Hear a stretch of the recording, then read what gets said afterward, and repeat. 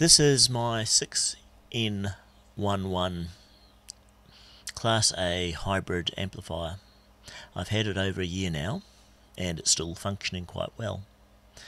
The biggest problem was heat, so I've added a fan and heatsink. This fan is uh, switched on when I switch the power on and later on you'll see where some of the wires go. As you can see here, this is a close-up of the um, heatsink arrangement. You can see some of the LEDs that light the unit up like a Christmas tree. I've also added a guitar volume knob so I know where the volume is and um, don't have to guess. Uh, the input stage is very simple. It goes in via the volume control and directly into the tube and then out by the silicon uh, FET devices. Um, the unit itself runs very well, very reliably, and with these mods it doesn't overheat and runs well for hours.